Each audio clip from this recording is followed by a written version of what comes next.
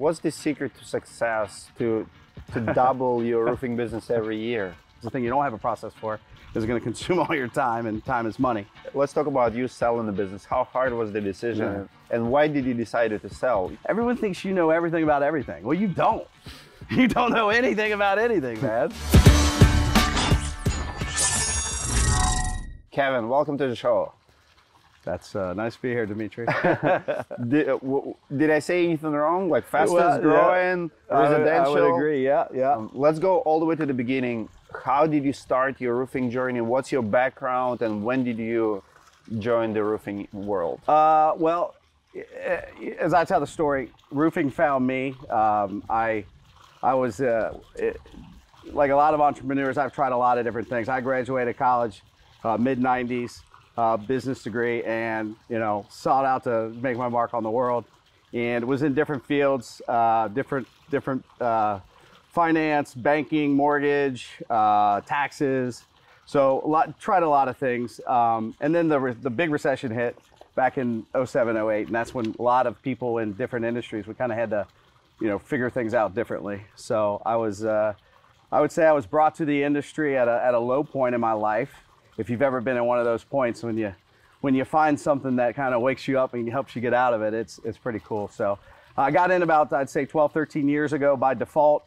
Um, I just happened to be at the right place at the right time, and um, I was able to kind of start and build everything and just kind of do it the way I wanted to do it and the way I thought made the most sense for today, right?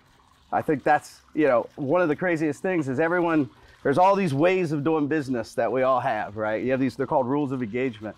And I always thought it was funny that in certain industries, specifically home service, is that we still have these traditional rules of engagement. Like, I gotta get my grandpappy's grandpappy's grandpappy said I gotta get three estimates. And so when I got in, we had that. And then there was a digital revolution going on as well, where, you know, there were companies that were able to kind of help you uh, find customers and grow your business. So that's kind of got in by default at a, what I did- consider a start? pivotal time. How did you start? Did you have a partner? Did you start it by yourself?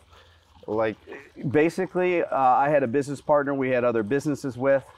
Um, he was also a general contractor. While we were doing other business, he got his roofing license simply to, to, to offer roofs for the people he was doing a remodel. Never thought of it as a, as a separate business. Um, when some other businesses didn't pan out that we were in, he asked if I wanted to, didn't really know what I, you know, he felt bad for me, I think. And he asked if I wanted to maybe come sell roofs. I had some in home experience and that's how I got in, man. He he he was maybe doing a roof, maybe a, a, a- every week, every other week. It wasn't a business; it was part of his overall construction business. And uh, I got in, and there were some online lead sources that you could buy potential customers, and the rest is history. wow. Uh, how fast did you grow? Like, so you started what, 2008, 9? yeah. Uh, What did you do first couple years? What describe uh, to me business early on? uh, my very first month in the business. I didn't know anything about the business. I was able to, to, to purchase, uh, I think, 10 leads. Of those leads, a lead is nothing more than someone who thinks they might want something, right? Uh, I was able to schedule nine appointments, and this is retail. I don't know any, I, I never even heard of in, insurance restoration probably until about year five. So straight retail. So uh, I had to figure out how these nine people were going to buy a roof from me, not having any experience at all. And uh, so you know, you do like you act as if, right? We all say that.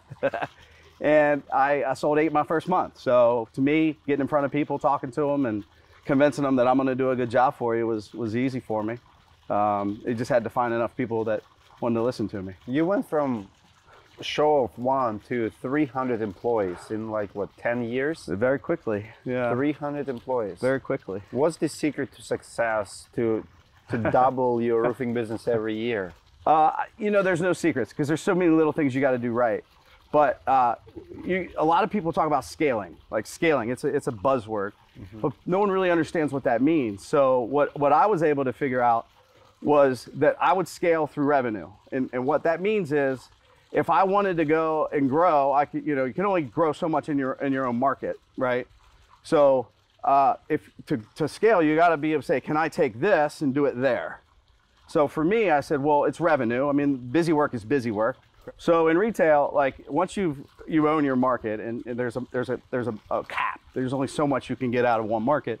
You want to take your show on the road, so you got to have to figure it out. And, and the benefit of, and I think I said it before, the digital revolution was you were able to, to kind of forecast based on you know some some previous data that somebody has. And so when we would scale in these other markets, we, we really knew that. We knew that for every dollar spent, this is where we we can trend on being. You just, I mean, you have to have a solid process. You do. Like, like what's the most important thing to have in place before you open second location? Because I see many people open and they close it because they were not ready for it. Well, I mean, that's such a tough question. There, there really is not a formula, but you definitely have to know every part of the process. You have to have a process for every part of the process. So, hmm. what that means in my company, no one does too many things. And I learned very quickly that if I would have someone, you know, manage something and they were managing eight things, inevitably the one thing I said, hey, what's going on here? They said I, I didn't have time. They had seven other excuses. So we realized very quickly that we had a, we call it compartmentalized. So everyone had a responsibility. So once you have people have specific responsibilities and so, such as scheduling and permitting, you know, our sales guys don't run their own jobs. They're salespeople. They don't need, I mean, that's, that's busy work. So you have project managers and supervisors. Once you have like the, the template built out of what that role entails, you build the process. And a process is five to seven steps that someone really can't screw up. So you kind of have to build those in all your little departments and, and warranty. You saw warranty today, as a matter of fact. Um, you got to have like a process that, that is built out specifically for that, that particular thing. Uh, because what happens is inevitably when you when you scale in these other markets, what's going to happen is the thing you don't have a process for is going to consume all your time, and time is money, and you want to get you want to get there quickly and, and do it. So I mean, it's just it's really having a process for everything. And and I and when I brought my, one of my my leaders who was still running my business down, you know, the first thing you can tell if someone has a process is let me see your training manual, let me see your sales manual, let me see your admin manual. Do you have a step by step way of doing it, or is it anecdotal? Well, this is the way we do it, right? Just someone saying, hey, I told this is how you do it. Oh, ask Earl at the shop. He told us how to do How, it. how do you build it? Like, how do you build the pro- and how much time did you spend on building the process versus everything else? Well, I mean, it really is not hard once you, you, you it, it's actually quite easy. I do it all the time. Is you take the problem and you say, the problem is usually point A to point B. We're stumbling in here and then you get really smart people that have done that particular part. Let's say it's you know manage a, a, a job site, right? So let's take all the really good people and say we're going to break it down to five important things. And if you if you say this, if you do this, these five things only every single time, 98% of the time, I know it's going to work because these are these these are irrefutably perfect, right? You show up on time, you introduce yourself because most most headaches are communication, no doubt about it. Like today, they did not call you that they're coming. That's right. That's right. Exactly. So, but that that's true. I mean, it really is. That communication is always the, the, the bigger problem. So process is important, man. I mean, especially in retail, because we are in the same place. And and you know, as opposed to the other side of the industry, which you typically have the salesman's, the project manager, and all this.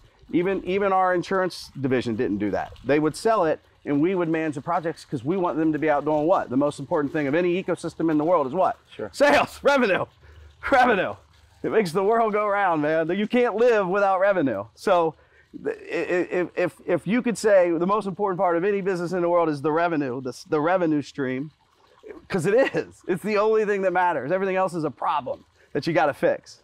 What I love about your story is uh, that it shows that there are a lot of money in the roofing. There's great opportunities. This is what made me scale. I will tell you the story. So, uh, we had a Hurricane Irma, I think about five, four or five years ago. It was a big hurricane and I was only in Orlando and here, and we did the year before. We, we were already a big company. I did thirty million dollars, but this Irma came in and hit my two markets, and I doubled in overnight. Did sixty-four million dollars, and we did it. We added a lot of jobs. Obviously, scaling is is just adding more people to uh, you know to build it. And um, what I didn't want to do is I didn't want to let those people go.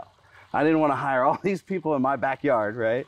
And basically say, yeah, thanks for the thanks for the money. And uh, so the, the, I was conflicted and I was talking to him. I said, well, what do I do as a business person, right? I don't need to, I, I don't have, I don't have the energy. I had two hurricanes back to back. We had a hail, uh, uh, we actually had a hailstorm after that. But uh, so you know, my energy level from going out to grow and scale was was low. It, my intent was, was pretty, I didn't have to, right? I mean, I already had this house, right? So, but I also didn't want to uh, let these people go. They put in their blood, sweat, tears.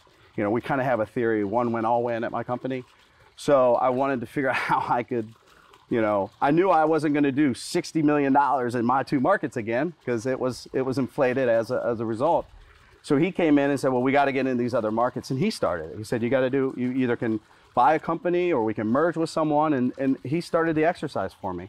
And I, I didn't know enough about it. I mean, the crazy thing is when you're a, a, a president or CEO and you understand, everyone thinks you know everything about everything. Well, you don't. You don't know anything about anything, man. you just figure it out when it hits you. That's that's all it is. Yeah. It's not like I have experience doing any of this. I've never done it either. So he was the first to explain to me, well, we got to scale. So when he came down, this was prior to the, the, the the final one. He worked for two three years, and we opened in you know we opened in uh, Tampa, Jacksonville, um, Naples, and West Palm almost overnight, right? Because we had we had the, the people to do it. So he basically helped save these jobs. So he came in and we went from 60, and I said, man, if we can just do 60 again, I'll be happy. Well, we did 85 that next year. So it was just, it was honestly having someone who has professional business experience, understands law is, is his trade, but just what it takes is scaling, right? You, you need people, you need money, right? And you gotta, but we knew the revenue stream because that was the first thing he said. Can you do this anywhere? I said, man, I can, I can do this anywhere. I promise you. This so is, that's how we came this in. This is so cool. I mean, think about it. The comment guys below what you think, give it a like too. Uh, it always helps our videos. But think about it. someone goes and uh, becomes a lawyer, and because we we don't have in our country aspirations to be a contractor. No. Like as a matter of fact, right now it's our biggest problem. Nobody wants to go in trades. But when I see that lawyers and people like you comes from financial world and start running roofing companies and you know service companies this is awesome because it's needed if you do the study if you study the market one of the biggest needed needs and the biggest shortages now it's uh, labor in trades Lo- you know I- predict that you know hvac contractors plumbers roofers we're all going to be next lawyers on the pay scale people will pay $100 $150 for skilled trade labor because there's exodus of laborers. Nobody's going in, and it's supply and demand. so if you are on the crossroads, what to do with your life, you know, do what this lawyer did. Join the roofing company, maybe you will be running it. Let's talk about you selling the business. How hard was the decision, Yeah. and why did you decide to sell? You love this, you build it, it's your baby, it's growing fast. Why sell? I mean, that's a good question. well, first, let me we'll we'll take a little journey, right? So, first of all, uh, everyone in the world thinks they have something of value that someone wants to buy, but very few people really do, right? Something of value is something that is is a predictable revenue stream, right? Everyone in the world, I, I know so many business people that they think the value of their company is somehow related to something that Is means their nothing. idea? Yeah, my idea. At the end of the day, it's still it's a predictable revenue stream with a margin, right? Is there profit? Are they successful? Do they have process? So, I, I we never set out to do that, but in in my journey to bring in the best business people, um, you know, discussions start. And the first of which is you guys have equity. You you have a you have a, a value. You have an asset, right? Which I never ever heard anyone say my business was an asset, right? Your business, I think of an asset as my house, right? Well, as your business is an asset if if things are predictable. And this was the first time we heard that. I heard that, which makes you feel good. You mean, what does that mean? Well, that means someone's willing to pay for it. Someone will give me money for a business? Like everyone thinks that that, and I agree. I think end game for a lot of people would be that, but you don't set out that way. So when you find out that your business has value that someone might find appealing, it's you feel great. It's it's one of the greatest senses of pride in the world. So when we set out, it, like all things that I do, as I say, I think we work hard on all things. Meaning we don't have we don't have one idea in, in plan in, in mind. We have all ideas. So let's keep them open. So as we were expanding, and we knew that we were an asset, that people started contacting us. So we had started the process of saying, hey, well, if someone is willing to pay for it, let's let's at least entertain it. So it really was never something I thought about. It, it kind of just is is given to you, and and then you think about it. And you know, at the time, this is pre-COVID, or no, I think it's it's after COVID. So things got a lot harder when COVID hit. Um, we and and and the discussions became more real. So uh, you it didn't set out to do that, and and then when you get into it, it was it was it was difficult. It was the hardest thing I've ever done, uh, as you would expect. I mean, it really was emotionally. I would say it was as hard as anything I've ever done in my life because I built it. Right, you built it by hand. To, to, to know that you don't and you don't have control over any of it anyway. So when, when you're going through the process of selling it, you're you're you're not in it. You're not in there going through charts and everything with people, man. There's lawyers and accountants that do that. Uh, you're helpless, and it's it, it's a tough process. Um, but when you get to that point, and then you realize, man, someone's willing to pay a lot of value. So for me, I started thinking, okay, well, if I'm going to sell my company, what's the how do I go through this process of not not because I didn't. I, I mean, I, I was already wealthy before. I mean, obviously, you know, more money is always great. So it wasn't necessarily the money. You know, how what if if I'm going to sell, right? What is what is best for me and what's best for everyone else? Right? What is what is best for the I think we had 250 employees or whatever at the time. So that's kind of the exercise I went through. And when you sell, I, I think selling a business is a good thing you should probably hit on a lot. I mean, it's very hard. Is you can sell in a lot of buckets. You can sell to friends, you can sell to you know people you know. You can sell to private equity. You can sell to Fortune 500 companies. Every single one of those is different. Mm-hmm. Every single one of those is going to treat you, You different. sell to employees. Yeah, yeah. So for me, I, I had an exercise, and I really wanted to be very pragmatic about it. And I said, if if I were going to sell my company, right, and I care deeply about these employees, which I do, um, who do I think or what entity gives them the greatest opportunity to be employed the longest? Right? Who's going to be around in 10 years? Who's going to be around in 25 years? Who's going to be around in 50 years? Who's going to be around in 100 years? And that was the exercise I went through, and overwhelmingly, it came back to the to the company I ended up selling it to, because you know they knew about my uh, they were in our industry in a, in a different vertical, whether my name is on the company or not, but we're a version of my brand. Be involved in roofing. I, I felt that it gave me the best the best opportunity.